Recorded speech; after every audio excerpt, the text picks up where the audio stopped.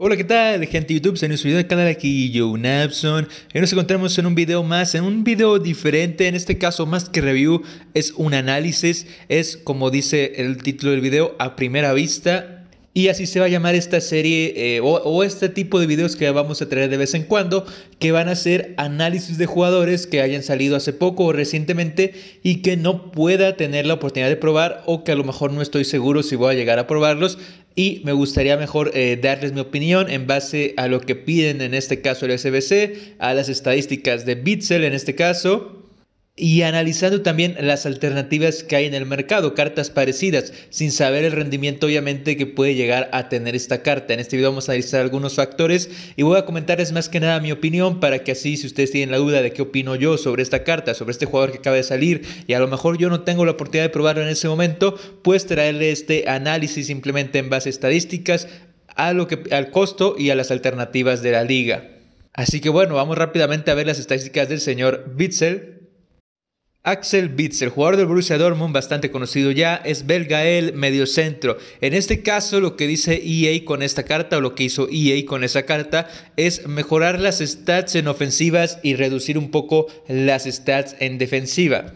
Si vemos esto aquí, podemos ver que la carta 84, la normal, pues tiene muy flojo el ritmo, el regate no está mal, pero no está tan bueno como la nueva, como la flashback, el tiro lo aumentaron también, el pase lo aumentaron, la defensa en este caso y el físico lo disminuyen, porque lo que dice EA es que es recordando un poco sus inicios como MC, realmente yo nunca lo había visto jugar antes de que llegara al Dortmund, para serles honesto, pero bueno, la, la, intención de EA con esta carta es mejorar un poco las estadísticas ofensivas.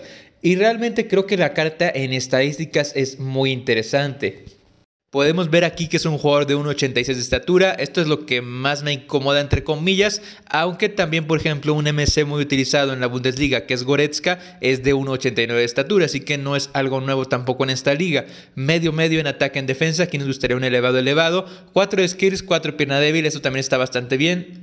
Y realmente ya viendo las estadísticas dentro del juego no es tan mal, realmente el ritmo es muy bueno para este inicio del juego, incluso para más adelante, con 80 de aceleración, 83 velocidad de sprint. El tiro es muy bueno para un mediocampista, los pases también, que es algo que no nos fijamos tanto, son muy buenos y en este FIFA se está notando que, que las estadísticas de pases, se está notando un jugador que tenga buen pase al que no. Y el regate, si bien no tiene la mejor agilidad, tiene 80 y tiene balance 76, las demás estadísticas están muy completas con una compostura de 99. Y aquí el problema o lo que más me llama la atención es el bajón que le dieron a la defensiva. No está mal las estadísticas en defensa, todo está arriba de 72, pero no es lo que tenía Bitzer en la carta normal, ni tampoco es a lo que nos tiene acostumbrados. Aún así creo que es un jugador que va a defender muy bien, a pesar de que sus estadísticas las haya nerfeado, entre comillas. Siento que por el físico, por la característica de este jugador, va a defender muy bien dentro del terreno de juego. Y el físico también le bajará un poquito, pero bueno, energía 83 está muy bien, fuerza 74 y agresividad 73. Pero realmente el problema eh, que tengo con esta carta o el por qué no me la voy a hacer es el precio que tiene. Actualmente que acaba de salir está más o menos a unas 200 mil monedas según Foodbean. Eh, y la verdad es que es un valor muy caro o unas monedas muy elevadas teniendo en cuenta que es un jugador intransferible, que es un jugador que no puedes vender y que te vas a tener que quedar en tu club y si no te gusta pues ya eh, desperdiciaste 200 mil monedas. No creo que sea el caso, creo que es un jugador que va a rendir sí o sí, realmente porque ha rendido en, otros FIFAs por sus características, incluso como les digo, creo que va a defender mucho más de lo que dice. Pero el tema es que son 200 mil monedas que no vas a poder eh, gastar o que no vas a poder recuperar. Vas a tener este jugador y a lo mejor en dos, tres meses ya se empieza a quedar un poco corto. No digo que se vaya a quedar corto, pero a lo mejor ya no es tan destacable como lo es ahora. Y, el mayor problema es que hay otras alternativas en la liga, en la Bundesliga. En sí, esta carta, si tuviera 80 de defensa, 80 de físico, yo creo que sí valdría la pena totalmente hacérsela por 200 mil monedas, porque será un jugador súper completo. Aún así, como les digo, creo que si se lo hacen no va a ir mal, no va a rendir mal, seguramente va a ser un muy buen jugador.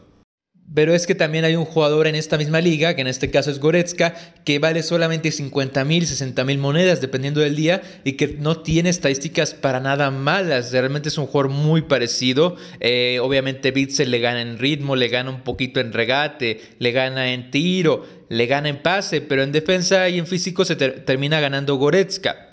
Eh, y, y aparte, vale Bitzel vale cuatro veces más de lo que vale Goretzka, entonces hay que tomar eso en cuenta. No es como que sea una diferencia de que valga 100 mil monedas Bitzel, que ahí sí sería un sí o sí hacérselo. Y que también hay otras alternativas en la Bundesliga más baratas, más económicas y que también tienen un muy buen rendimiento. Aún así, creo que este Bitzel puede llegar a ser el mejor mediocampista de la Bundesliga actualmente. Eh, también tiene el plus de que Bitzel tiene cuatro skills y Goretzka solamente tiene tres. Para ahí alguna jugada o algo en el medio campo te puede llegar a servir. Pero en general me parece que es un jugador en aspectos generales, eh, sin conocer eh, a cada uno de ustedes lo que piensa o las necesidades que tiene su club, me parece que no vale la pena en el sentido de que vale muchas monedas, eh, es un jugador intransferible, es un jugador que estás depositando muchas monedas en él y que no vas a recuperar esa inversión y que hay otras alternativas en el mercado. Aún así, como jugador, como carta, yo no lo veo malo. Realmente creo que va a ser un jugador muy bueno y creo que es una buena opción si tienes una Bundesliga. Si te vas a decantar por Bundesliga el siguiente mes, los siguientes dos meses, si quieres fortalecer tu medio campo, pues creo que sí sería una inversión interesante porque al final lo estarías utilizando mucho y ya sería un recurrente, un jugador titular en tu club, obviamente. Pero bueno, no es lo que yo recomiendo. Simplemente si quieres tener a lo mejor la, mejor Bundesliga actual, pues ahí sí pensaría en hacérmelo. De otra forma, no. Aunque creo que su rendimiento sí va a ser muy, muy bueno. De igual manera, me gustaría saber en la parte de los comentarios si alguien ya se lo hizo o si alguien ya lo probó. Me gustaría saber qué les pareció Bitzel, les gustó, no les gustó, les pareció muy muy bueno, les pareció bueno en general, les parece que vale las 200k, no sé, me gustaría saber su opinión en la parte de los comentarios de alguien que ya lo haya probado. Y de igual manera me gustaría saber eh, si hay mucha diferencia entre Goretzka y Bitzel o si son jugadores parecidos en cuanto a nivel, porque físicamente creo que son parecidos y, y hay que ver qué tal rinde este Bitzel. Pero aún así en sentido general no vale la pena porque son cuatro veces más monedas que las que vale Goretzka, pero tampoco lo veo como algo descabellado hacérselo. Simplemente esta es mi opinión de primera vista, simplemente viendo las estadísticas, viendo un poco las alternativas. Obviamente si no tienes Bundesliga, yo no pensaría en hacérmelo, simplemente si te, si te gusta la Bundesliga o si tienes ya varios jugadores interesantes o muy buenos de la Bundesliga, pues ahí sí podría ser una opción para tu equipo. Si tú tienes Premier, si tienes Liga Santander, si tienes otro híbrido, pues yo ahí sí creo que ya no, no lo haría por nada, vaya. Pero bueno, esta es mi opinión.